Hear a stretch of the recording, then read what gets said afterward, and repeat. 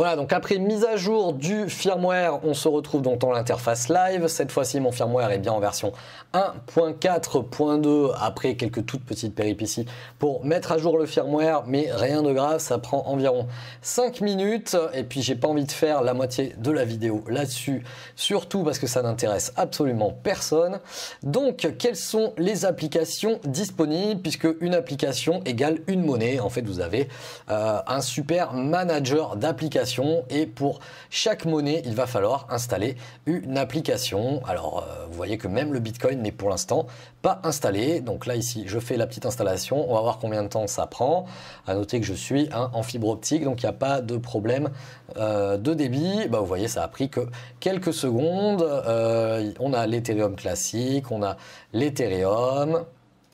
Alors je ne sais pas comment ça se passe euh, pour les, tokens ERC20. À mon avis, on est toujours obligé euh, de passer par un site euh, comme MyEther Wallet. Je ne pense pas que ce soit géré directement dans cette interface. Corrigez-moi si je me trompe en commentaire, mais à mon avis, il faut faire à l'ancienne méthode, c'est-à-dire aller sur le site web, brancher votre ledger, et à ce moment-là, vous aurez directement les petites adresses qui vont bien pour aller stocker vos jetons ERC20, ce que ne va pas faire, euh, on va dire, l'utilisateur la première fois qu'il utilise cette euh, ledger. Donc on a le Ripple qui est dispo, le RSK, le Tron, le VeChain. Voilà, on a pas mal de choses, le Zcash, le POA que je ne connais pas, le Monero d'ailleurs qui est, dit, qui est arrivé chez, chez Ledger ici. Donc qu'est-ce qu'on a d'autre? Portfolio, Add Manager, Add Account. Donc on va Open Manager. Comment ça se passe? Pour le Bitcoin. Ok, donc le manager a l'air séparé de l'application Wallet. J'ai l'impression que c'est ce que j'ai fait il y a deux petites minutes. Donc ici, en bas à gauche, puisque c'est là que ça se passait finalement, c'était plutôt discret, hein, même s'ils a mis une petite flèche, que c'est là que ça se passe. Donc ici, petit plus, en fait, vous ajoutez une crypto, tout simplement. Donc ici, j'ai ajouté le Bitcoin, mais je pourrais aller ajouter ici l'Ethereum. Hop, ouvrir Ethereum App sur mon device. Donc je quitte le Bitcoin sur lequel j'étais, je me rends sur l'Ether. Hop, et je continue. Ça synchronise. ce que je vois, c'est que c'est surtout, euh, c'est beaucoup plus beau, mais c'est encore plus chiant qu'avant, je crois, finalement. Voilà, ici, on a un compte Bitcoin, on a un Ethereum. On a la possibilité donc de recevoir. Continue. Vérifiez votre adresse sur le device. J'appuie sur vérifier. Donc ici, j'ai bien un compte en Ether. N'hésitez pas à envoyer sans Ethereum dedans. Euh, on a euh, le barcode si vous voulez prendre en photo, hein, ce sera encore plus facile. Et on a un bouton ici euh, pour copier l'adresse et l'envoyer où vous voulez. Donc ensuite, je valide directement sur le Ledger revérifier, je sais pas ce que ça fait, ok, ça, ça va rafraîchir la chose, revérifier, hop, 0x27, on est bien sur la même adresse que tout à l'heure, a priori, c'est 999. On est bien sur la même, on est d'accord, je l'ai fait trois fois, il n'y a pas de problème, ok, comment on quitte euh, ça? On ne sait pas.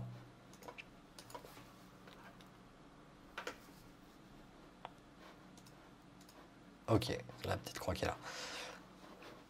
Donc honnêtement, j'ai dû naviguer quand même 5 petites minutes un peu pour me faire à l'interface parce qu'on est euh, vraiment à peine guidé quand on arrive dedans. Il manque un petit wizard, monsieur Ledger. C'est pas votre petite flèche discrète à côté du bouton euh, account ici euh, qui va vraiment guider les débutants qui arrivent dedans. J'en ai vu des interfaces, j'en ai fait des trades après 2 heures du mat sur des exchanges obscurs, Graviex, Ether Delta et compagnie. Votre interface est magnifique et pourtant quand j'arrive dedans, euh, honnêtement, j'étais un petit peu perdu.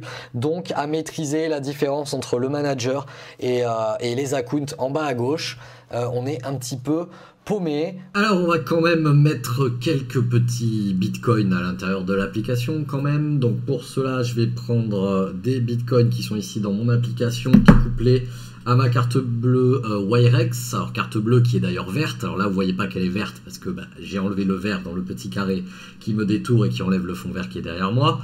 Je ferai une vidéo dédiée hein, sur cette carte bleue crypto qui vous permet de toucher 0,5% de tous les achats que vous faites avec cette petite carte bleue en crypto-monnaie directement en Bitcoin. Vous pouvez également acheter et revendre de la crypto-monnaie. À noter que pour l'instant, il ne gère pas l'Ethereum. Vous avez le Ripple, le Litecoin et le Bitcoin. Voilà, vous avez un article sur le blog et très prochainement la vidéo. Alors je vais prendre donc l'application Wirex, je vais sélectionner Bitcoin, je vais sélectionner envoyer, adresse de Bitcoin destinataire, donc là je vais prendre le code barre de l'application Ledger en tant que destination. Je pourrais m'amuser à taper bien évidemment les chiffres et les lettres, mais là euh, comme on n'est pas sur la même machine pour faire un copier-coller et être sûr de ne pas se tromper, il est préférable d'utiliser les petits barcodes pour faire une photo. Alors je vais me positionner ici sur recevoir en Bitcoin et pas en Ethereum.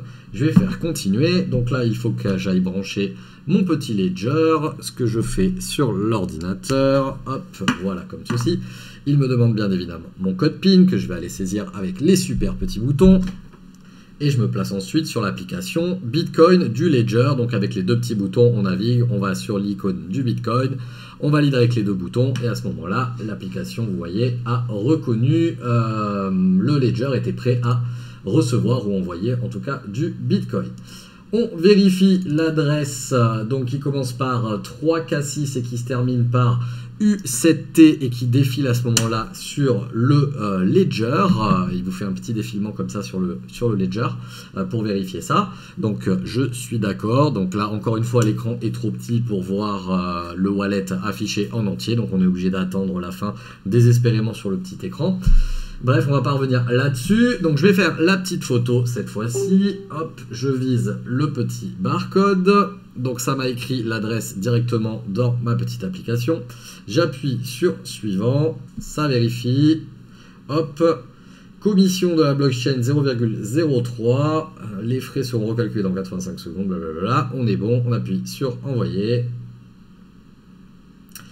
Paiement en attente de confirmation. Veuillez confirmer le transfert avec un lien envoyé sur mon adresse email. Donc je vais aller sur ma boîte mail. Voilà, donc j'ai bien reçu un mail quelques secondes après sur mon petit Gmail. Je fais un petit confirmé. Hop. Et normalement, on a bien envoyé les fonds. Et puis, euh, bien, on va couper là pour voir quand est-ce que...